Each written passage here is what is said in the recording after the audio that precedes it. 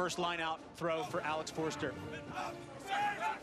BYU set the lift, the throw off the mark, and it looked like Robles came in there to grab that one for Cal.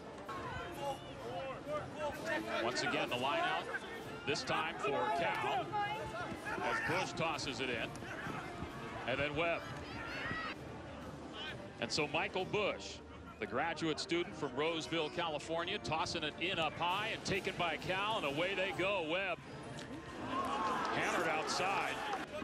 Oh, so far, things have gone really the way that Cal would want them to, capitalizing on BYU mistakes. They have to come away with points or it's all for naught. Robles went up high for that one. Webb grabs it. Saliber runs over a man. A Cal line out on the near side and Michael Bush. Okay, keep an eye on it, please.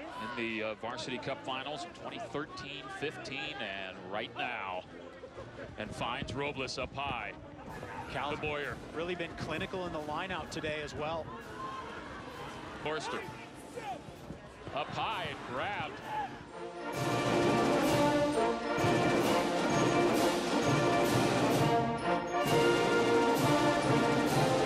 So Forster gonna see if he can throw a dart here on this line out. Up high and it overthrows and goes to Robles. And Robles.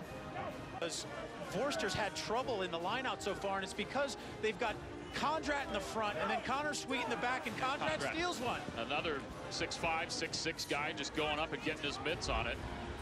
Referee Berard asking for a little spacing there on the line out. Keep going back, Glenn. Tightens up anyways, and Boyer spins to Webb.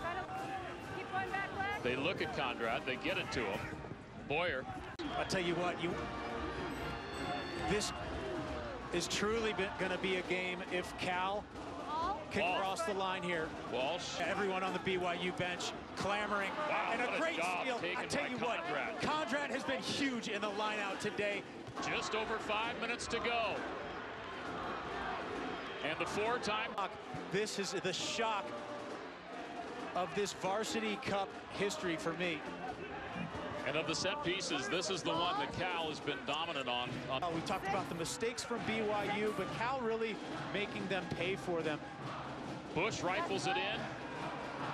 And away goes the ball. And Cal ever closer